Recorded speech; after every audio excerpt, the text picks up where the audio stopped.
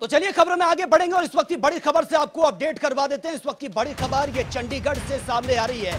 बड़ी खबर आप तक पहुँचा रहे हैं। इस वक्त की बड़ी खबर, ये चंडीगढ़ से है। जीएसटी काउंसलिंग की बैठक जारी है। बैठक में कई अहम फैसले होने की उम्मीद है।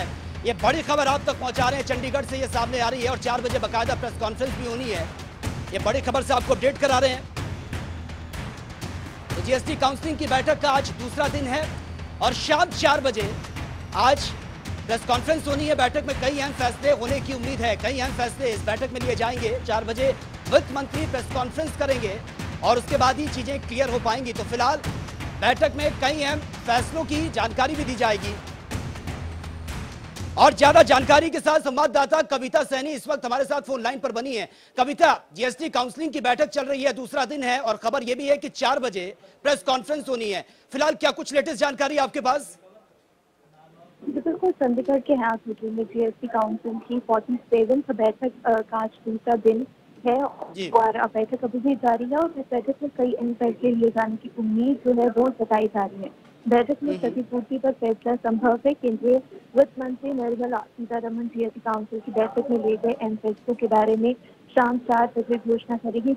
शाम को चार बजे यानी कि पूरे एक घंटे के बाद प्रेस ब्रीफिंग जो है वो निर्मला सीतारमन की तरफ़ से की जाएगी। आखिर बैठक में क्या क्या जो फैसले हैं वो लिए गए हैं उसकी घोषणा जो है वो की जाएगी। आपको बता दें कि इस बैठक में पंजाब के मुख्यमंत्री भगवंत मान वित्त मंत्री हरपाल सिंह चीमा हरियाणा के मुख्यमंत्री मनोहर लाल खट्टर और उप मुख्यमंत्री दुष्यंत चौटाला सहित विभिन्न राज्यों के वित्त मंत्री व अधिकारी जो है वो शामिल हुए हैं। जीएसटी काउंसिल की बैठक का आज दूसरा दिन है, ये कल बैठक कल 28 जून को शुरू हुई थी और इसमें वस्तु एवं सेवा टैक्स को लागू किए जाने के कारण राज्यों को होने वाले राजस्व, नुकसान की भरपाई करने की योजना जून को समाप्त हो रही है राज्य ने इसे आगे बढ़ाने की मांग की है जबकि केंद्र इसे खत्म करने के पक्ष में और इस मुद्दे पर आज जीएसटी काउंसिल की बैठक में कोई फैसला हो सकता है? वित्त मंत्री निर्मला सीतारमन आज प्रेस कॉन्फ्रेंस के ज़रिए काउंसिल में दिए गए फैसलों की जानकारी देगी। क्षतिपूर्ति के अलावा जीएसटी दरों और उनके अंतर्गत आने वाली वस्तुओं की सूची में भी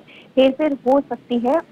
और आपको बता दें कि चार बजे जो है प्रेस कॉन्फ्रेंस है, जिसमें सीतारमन निर्मला सीतारमन जो है, वो प्रेस ब्रीफिंग कर जानकारी देगी कि आखिर किन किन चीज़ों पर फैसले लिए गए हैं और क्या कुछ नए जो फैसले हैं वो लिए गए हैं। जी।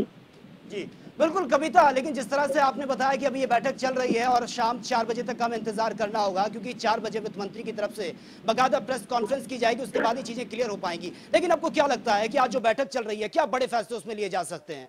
बिल्कुल, तमाम तरह के जो बड़े जा सकते हैं क्योंकि इसमें अंतर निर्णय केंद्रीय वित्त मंत्री निर्मला सीतारमन द्वारा काउंसिल की बैठक के आज ही लिया जाएगा और बैठक में केंद्रीय वित्त राज्य मंत्री पंकज चौधरी कई चंडीगढ़ के वित्त सचिव समेत कई जो देश भर के एक सौ बीस प्रतिनिधि जो हैं वो उपस्थित होंगे और तमाम तरह की जो इस पर जो घोषणाएँ हैं काफ़ी मुद्दे हैं उनको लेकर बातचीत करके और सात बजे ब्रीफिंग जो है वो करके इसकी घोषणा की जाएगी कि आखिर क्या क्या तमाम मुद्दों पर जो फैसले हैं वो लिए गए जी।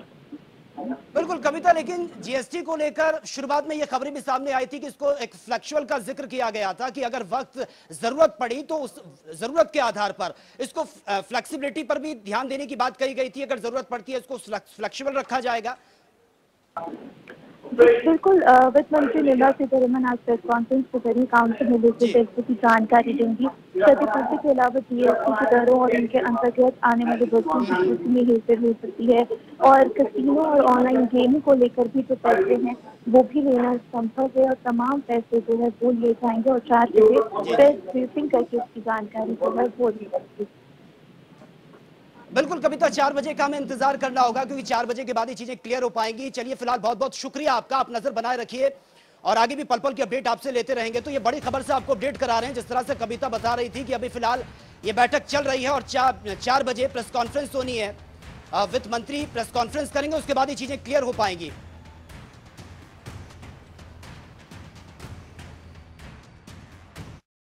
ग्राफिक्स आपको दिखाने की कोशिश करते हैं और उसके माध्यम से आपको समझाने की कोशिश करते हैं। ये ग्राफिक्स आपके सामने है। ये ग्राफिक्स आप देखिए।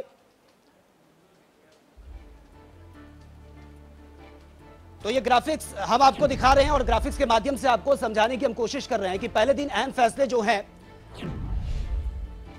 उस पर क्या रहेगा? पहले दिन पैकेट, दही, लस्सी और बटर, ये को लेकर जो बात सामने आ रही है पाँच फ़ीसदी जीएसटी पापड़, पनीर, शहद, अनाज, इन पर पाँच फ़ीसदी जीएसटी और साथ ही अखबार, मैगजीन, रेलवे के जो पुर्जे हैं, उस पर भी जीएसटी को लेकर जो बात सामने आ रही है एलईडी लाइट्स और लैब फिक्सर पर 12 से बढ़कर 18 फ़ीसदी जीएसटी का ज़िक्र इसमें किया गया। कट फ्लिस्ट डायमंड पर शून्य दशमलव दो पाँच से बढ़ाकर ये वन पॉइंट समथिंग ये रखा गया है और पाँच से बढ़ाकर बारह फ़ीसदी जीएसटी का ज़िक्र इसमें किया गया। ई व्हीकल्स की अगर बात करें तो पाँच फ़ीसदी जीएसटी ये रखा गया है। तो ये अहम फैसले हैं। कॉफ़ी बिन्स, ग्रीन की अगर बात करें, पाँच फ़ीसदी जीएसटी का ज़िक्र इसमें किया गया। और आपको बता दें, एक हज़ार दिन से सस्ते होटल रूम का भी इसमें ज़िक्र किया गया है। तो ये ग्राफिक्स के माध्यम से हम समझाने की आपको कोशिश कर रहे हैं जो बड़े फैसले।